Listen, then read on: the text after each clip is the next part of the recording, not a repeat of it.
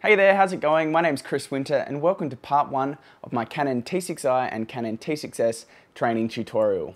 Today I'm going to teach you a number of basic steps on getting to know your new camera and hopefully you can get something out of it.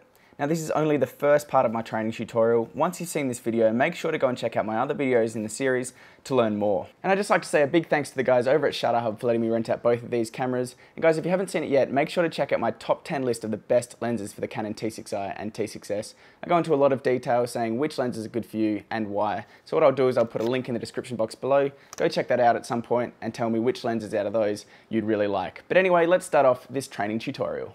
Okay, so when you first get your camera, there's a very good chance that the lens won't be attached to it. It'll normally come in a box with either a kit lens or just the body alone, but many people do buy them with the kit lens. This one here is the 18 to 55 STM lens, a really nice lens with a very good autofocus motor. So the first thing that we're going to want to do is put the lens onto the camera. So the way to do this is to line up this little white dot here with the white dot here on your camera. So what you need to do is put it in, it's going to uh, fit in snugly like that, and then you want to twist it to the right until you hear it click. So we'll do that again.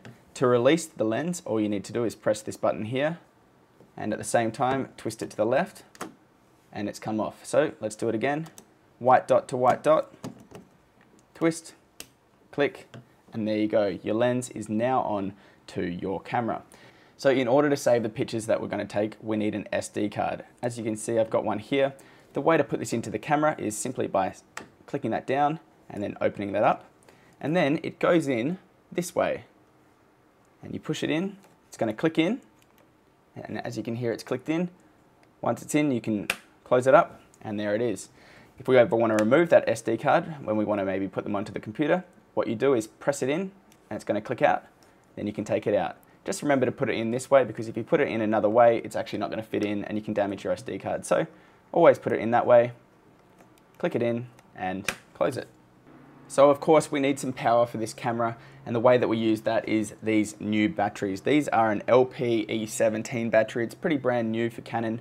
We used to have these LPE8 batteries on the older models and for things like the Canon 70D that I'm shooting now, we have these LPE6 batteries. So the way that we do this is you open it up by clicking this down and then the battery goes in this way. Pushes in, locks on, and then to close it, you simply do that. Again, to remove the battery, just pull that open, click this little switch, and there it goes. Always make sure that you've got these little gold, uh, gold pieces going in this way. You'll be able to uh, feel it if it doesn't go in because it won't go in that the, the wrong way. All you need to do is close it up, and then, hopefully, we should have some battery. There we go. Hey guys, if you're enjoying this training tutorial, I'd love it if you leave a thumbs up because it takes a long time to make these videos and it's always appreciated. But anyway, let's learn a bit more about these two cameras. So let's now take a look at a few of the ports on this camera. So if we open this little rubber piece up here, you can see that we have a USB port. This is really useful if you want to take the images off your camera and put them onto your computer, or if you want to get a live preview using the EOS Utility app, which I'll go into more detail in another tutorial. We also have an HDMI uh, port, this is really useful if you want to get your images up onto a, a TV or an HDTV, or if you want to get an uncompressed uh, signal out of your camera for, uh, for pro video work. So we'll close that up. We also have a port for your microphone. This is what I use when I do my videos. Essentially what you can do is put a, a, a wireless lavalier or you could put a shotgun mic into here using this 3.5 millimeter jack Essentially, you plug that in there and you're going to get a lot better audio than the actual audio that's recorded using the inbuilt mics. We also have a little slot here for a remote control or an intervalometer. So essentially this is going to allow you to remotely use the camera using a little uh, plastic remote and you'll be able to use the shutter button and you'll be able to do time lapses simply by plugging that in there. It can be a really useful feature. So one of the benefits of these newer cameras is that they've got a flip out screen. So essentially to flip this one out, you need to pull it out and then you can twist it so you can get a better angle, say if you're going to be taking a shot from above or from below. This one here twists all the way forward, so if you're going to be doing some filming of yourself, which is what I use quite often, or it can go all the way back to around there. It can't go 360, so don't try and bend it too much, uh, too much, otherwise you could break it. Now, a really useful thing of this is when you're traveling, you can actually close it so you've got a hard back here and the screen's not going to be damaged when things bump against it. So if you want to do that, you just need to close it like that. Again, if you want to open, you can just flip it around and have it like that. It's a really useful thing having this flip screen and a lot of pro cameras don't have it and a lot of these prosumer cameras have it. So I actually really like it and I think they're a really good feature. So let's now turn the camera on. It's very easy. All you need to do is flick it to the on switch and then you'll notice that there's some information displayed on the screen and that means that it's on. From here, probably the first thing you want to do is actually take a photo. It's actually really easy. All you need to do is press this little button here. This is called the shutter button. You press it down and as you can hear, you've just taken your very first photo with your camera. So the next thing you probably want to do is look at the image you just took and in order to do this you press the playback button right here and as you can see this is the last image that I took.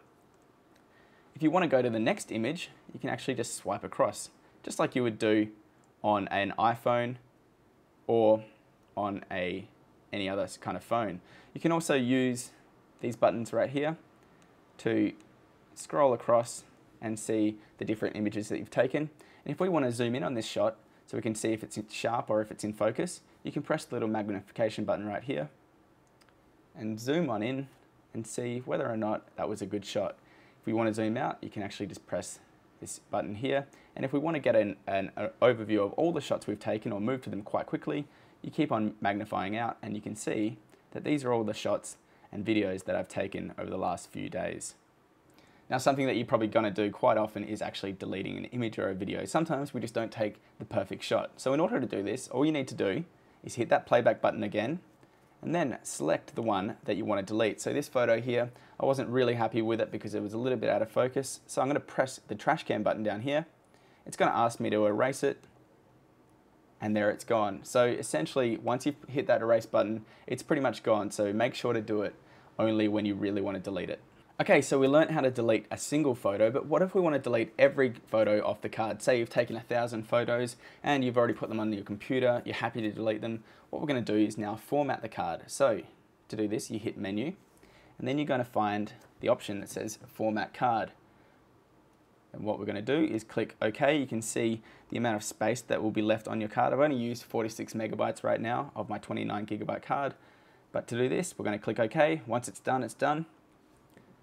And there you go, we're gonna have a clean card now, so we'll be able to have all the space available on the card, ready to take more photos. So let's quickly talk about the lens on this camera. This one here is the 18 to 55 millimeter STM lens. It's a relatively basic lens, but it is quite sharp, and it's a really good beginner lens. Now in order to zoom this lens, you can see that we're currently at 18 millimeters. If we twist this to the left, you can see that it's moving in and out, and we're now at 55 millimeters, which means it's zoomed in more. If I want to put this in autofocus, all I need to do is click the autofocus button. If I want to put it in manual focus, I click the manual focus button. Once it's in manual focus, I can actually adjust the focus by simply spinning this manual focus ring right here. Now, there are some lenses, like this one here, this is a Sigma 30 millimeter, which is actually a prime lens, which means it doesn't zoom. Now, why would we want to use this? Well, I'll go into this in a little bit more in a little bit more detail later on, but essentially these can be a little bit sharper. You can get some really nice images from them. But when you're traveling or when you're starting out, it can be a really nice idea to have this zoom lens like this 18 to 55. It's also got a stabilizer uh, button right here. This essentially is going to reduce the camera shake uh, when you're taking photos or, or if you're recording video. To turn this on, you can turn this on like that, or to turn it off, you can turn it off like that. I like to keep it on pretty much most of the time. Now next up, what we're gonna do is hit the menu button. Here we're gonna be able to change a lot of different settings that we've got on the camera. For instance, we can change the image quality, so we could have a large image or we could have a smaller image if we wanna save some space. You can turn on the beep. You can turn on whether or not you're gonna have the image review for two seconds or 10 seconds. And if we go to the right here, you can see that there's a lot of different things you can change. You can change the picture style. So if you want to have it in monochrome, which means black and white, or if you want to just make it your colors pop a little bit more.